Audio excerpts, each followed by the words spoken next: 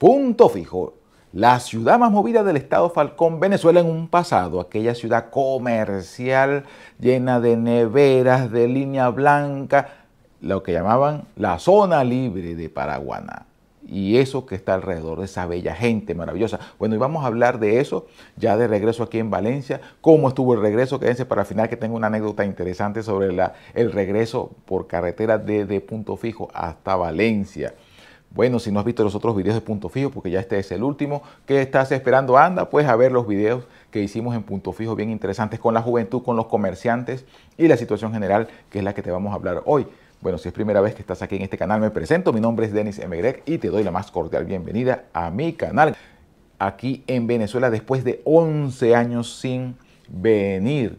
Vengo desde Canadá, que es donde vivo actualmente desde hace todo este tiempo. Y bien, te voy a contar entonces todo lo que vimos y el final del regreso hacia Valencia. Bueno, miren, les voy a ir pasando imágenes en la medida que voy conversando con ustedes sobre lo que vimos allá en Punto Fijo. Bueno, y una de las primeras cosas, una de las cosas que más me llamó la atención allá, de verdad, que me impresionó mucho, que no lo vi cuando me, me fui de Venezuela es el trueque. Mucha gente profesional, personas que trabajan de manera independiente, haciendo diferentes actividades, la peluquería, las uñas, personas que pintan, albañiles, etcétera, hacen su servicio como todo el mundo, pero si no hay dinerito, ellos aceptan que les den un producto. Sí, así como lo escuchan. Eh, ellos hacen el servicio, pintan la pared, hacen lo que hacen su, su trabajo profesional y las personas les puede dar una harina pan, un arroz, algo de comer. Eh, inclusive una persona, una persona que corta el cabello, que atendió a mi esposa y a mi suegra, les cortó el cabello y eso, y ellas les regalaron unas blusas. Que también le dieron algo, mi more les dio un dinerito, algo, pero les pagó su, su honorario, pero también ellos aceptan ropa nueva o usada. O sea, eso me sorprendió muchísimo, pues porque, bueno, en la Venezuela que yo me fui todavía no se veían estas cosas. Bueno, otra de las cosas que no es un secreto para nadie, que, bueno, lo viví en carne propia, no es un cuento que me echaron, es el problema del gas, el agua y la luz. Wow, eso sí es verdad que está terrible esta situación del agua y la luz en Venezuela. Bueno, allá el que no tiene un tanque para llenarlo, cuando viene el agua de la, digamos, el agua de la calle, como dicen allá las personas, bueno, cuando viene el agua de la calle yo abro para llenar los tanques y las cosas, en el que no tiene tanque, imagínense, a punta de tobitos. Gracias a Dios, bueno, cuando fuimos, este, la familia ya hizo un esfuerzo enorme por llenar esos tanques. Y aunque el agua no tenía tanta fuerza, pues tenía que a veces, la regadera tenía que bañarme pegadito de la pared para poder eh, bañarme. Pero ellos hicieron el gran esfuerzo de verdad por llenar esos tanques.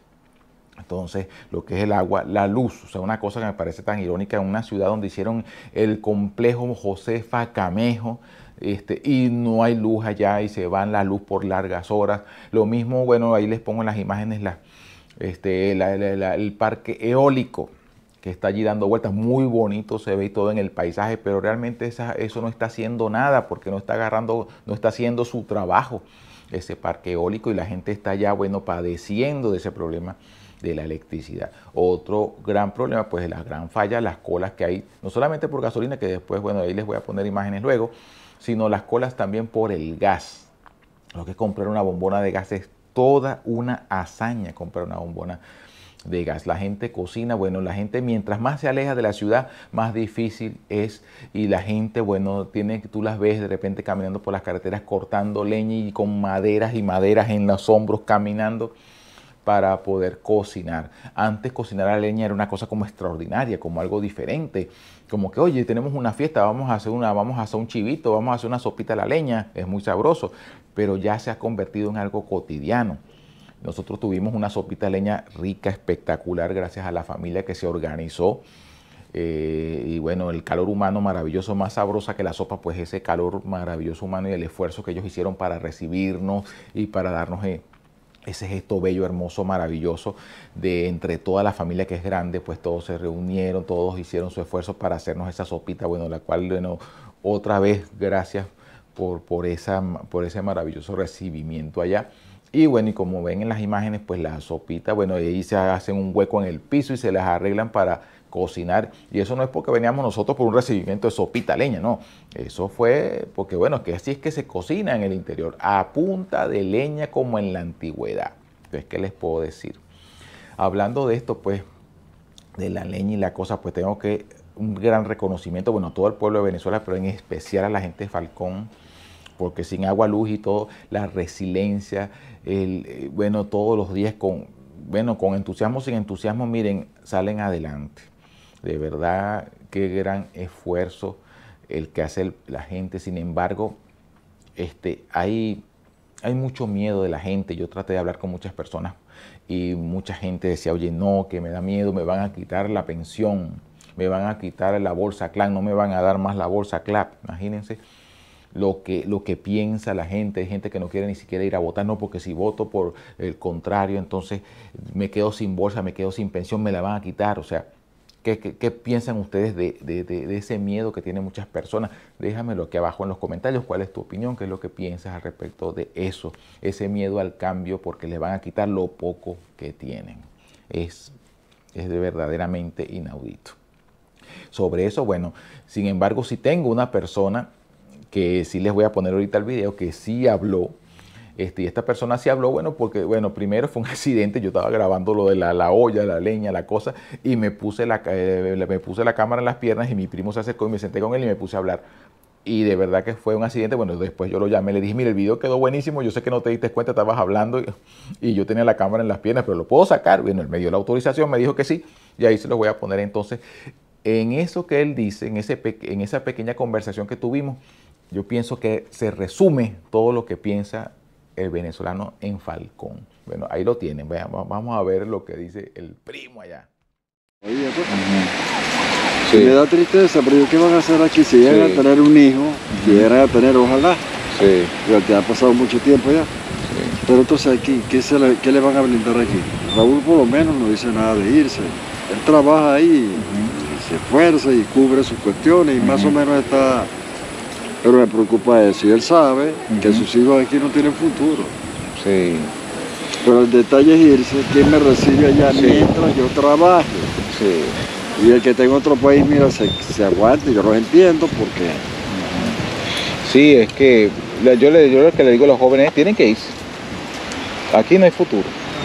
Tienen que buscar por otra parte, porque aquí no tienen desarrollo de ningún tipo, ni estudio ni trabajo. Ah, ahora fíjate, Daniel sale ahora de bachiller y la dicción es malísima, la ortografía es mala y aquí se no importa, lo que es que, que se gradúen. Tú ves los profesionales dentro de cinco años aquí, vas a quedar loco, vas a quedar frío, porque la educación es pésima, es lo peor. Es que bachilleres están dando clases y militares, eso, los primeros, los cabos que no saben ni, y expresarse, ellos son los que están dando Y es que los profesores fue que se fueron de aquí, los maestros. Claro, y que quedan, maestros, no les quieren reconocer su labor, su trabajo, no le quieren dar aumento. Claro. Claro, y un profesor, una gente que se mató cinco años estudiando, que va a querer ganarse qué? ¿Cuánto, le paga a un profesor aquí, un maestro? Bueno, te voy a decir que un médico gana, porque la esposa de Angélica, mi prima sobrina, se retiró del hospital. Sí. Él es cubano, pero hizo posgrado, etcétera, entonces, en el hospital se contó la quincena 180 bolívares al mes. Médico especializado. Especialista. Él es intensivista, él es internista e intensivista. 180 bolívares al mes. Uh quincenal. 360 al mes. No, pues. Ya son salarios estrella. Sí, supuestamente. ¿Y eso en dólares cuánto más o menos? Yo estoy perdido también. Yo llegué y estoy perdido. Bueno, el salario mínimo 130, estamos hablando, equivale a 5 dólares y, y unos céntimos, ¿verdad? Entonces, 130, eh, eh, bueno, 360 entre, entre 25, 25 por 10, 250. 30 dólares al mes más o menos. Sí. Menos, menos, No, no, que 30, 15. Sí. 15 por 2, 300 y 5, sí. Sí, porque dólar está como a 25 15 dólares mensual. Un médico, un profesional. Un profesional. ¿Y qué compra con eso? en cambio, los médicos aquí de Venezuela, los de la Cuarta República, como llaman ellos, de las universidades tradicionales, mira, cuando caen en Ecuador, a Chile, le ponen la mano porque son, sí. sí, sí, tremendo. Sí, sí. sí, sí. Yo tengo una sobrina por parte de, una hermana por parte de papá. Ella es especialista, ella se fue ya hace 11 años igual que ustedes, ella se fue justamente cuando ustedes se fueron para Estados Unidos. Ah, en 2012. Sí, ella es especialista en cardiología infantil, pediátrica. Ah. Bueno, entonces, bueno, este testimonio pues es gran parte de lo que piensa la gente allá, ¿no? En Falcón. Otra de las cosas que no podemos dejar de mencionar allá en el estado Falcón, pues, es las playas, que, bueno, así como toda Venezuela, pues, que es un gran potencial turístico, pues que tenemos todo el Caribe y miles de kilómetros de playa en, en todos los estados que están frente al Mar Caribe. Falcón es uno, yo digo, de uno de los estados superpotencia en la parte turística. Solamente pude visitar una sola playa, lamentablemente, que fue la playa de Villa Marina, una playa hermosa que ya la deben estar viendo allí en sus imágenes. Bueno, y el pueblo de los Taques, que es el pueblo que tú pasas primero antes de llegar a Villa Marina que es la playa más cerca a punto fijo. Bueno, como pueden ver, el, estado de la carretera está bastante bien, afortunadamente. El pueblo está limpiecito, está bien cuidadito, los, taques. Eh, bueno, me, agradó mucho ver el pueblo en esta, en esta condición. Una que otra casita sin pintura, uno que otro proyecto sin terminar. Bueno, lo normal, eso siempre ha estado así. Y bueno, y en la playa lo que pude ver, bueno, las playas hermosas, como siempre, las hermosas playas, nuestras hermosas playas de Falcón hermosísima. Lo que sí pude eh, notar, pues, que antes los toldos que estaban en la playa, pues eran toldos que estaban separados unos de otros, como debe ser, pues cada quien tiene su privacidad, su espacio, etcétera, etcétera. En este, en este caso, como pueden ver en las imágenes, un montón, un montón de, de, de, toldos pegados, así como que hicieron un solo chorro, un chorizo de, de toldos, cosa que me parece horrible, porque imagínense ustedes, no, no hay calidad en ese sentido para ir a la playa. O sea, me parece una cosa bien loca, ¿no? Todo esto. Bueno, eso por ese lado, pues esa crítica constructiva, pues esas personas que son los que organizan la playa, la alcaldía, no sé quiénes son los encargados de la playa, oye, hagan unos toldos más separados, la playa es bastante grande, ¿cómo van a hacer esa cosa así? Imagínense una persona ahí que ponga una carne y el de al lado te está comiendo un sanduchito, o tienen una música a todo volumen y tengo al lado a la persona un vallenato, un reggaetón, una cosa allí. Oye, tienen que pensar en esas cosas, ¿no? Bueno, otra cosa que vi, bueno, van a ver allí al fondo de la playa, pues los barcos haciendo la fila. Yo pienso que van al puerto a recoger gasolina. Bueno, ojalá que sea para, para distribuirla en, todo el país, no sacarla para otro lado, porque nosotros, Venezuela necesita gasolina, nosotros necesitamos este, nuestra gasolina, nuestro producto, ¿no? Eso por allí, por ese lado. Otra de las cosas, pues, que, bueno, ahí lo van a ver en las imágenes, bueno, las colas de gasolina, que eso no es nada más en Falcón. Bueno, en Falcón se ven más fuertes, vienen esa larga fila que les estoy presentando allí en el video. Larguísima, larguísima la fila de gasolina. Pues ahí la gente ya sabe cómo es el, el tumbado con la cosa de la gasolina. En unas son más largas las colas, en unas menos largas, etcétera, etcétera. Pero allí vemos pues este, las largas colas que se hacen de gasolina en en, el estado Falcón, sobre todo, y que es tan irónico porque tenemos las dos más grandes refinerías del país. Y sobre todo también vamos a ver en las imágenes el mechurrio.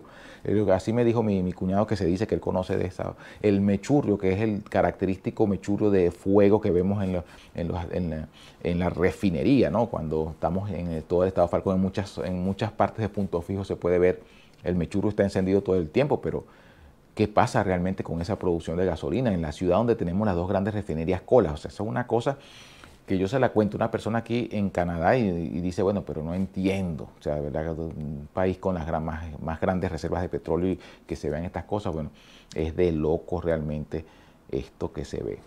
Bueno, y bueno, ya al regreso de nuestro viaje hacia Valencia otra vez, bueno, mi esposa, se, como, como buena falconiana, pues ella le encanta, ella muere por la arepa pelada, que es un tipo de arepa que se hace con el maíz pelado, que llaman, ¿no? Este, para los que no son de Venezuela, pues el sabor de la, de la, arepa pelada es así como el sabor de la tortilla de maíz mexicana. Solo que, bueno, la tortilla de maíz es delgadita, la tortilla mexicana, mientras que la arepa es, bueno, como ustedes conocen, la arepa es gruesa, ¿no? Y bueno, mi esposa quería arepa pelada y quería arepa pelada. Y generalmente antiguamente, anteriormente, por el camino tú comprabas de todo, harina pelada, huevas de lisa, cualquier cantidad de cosas.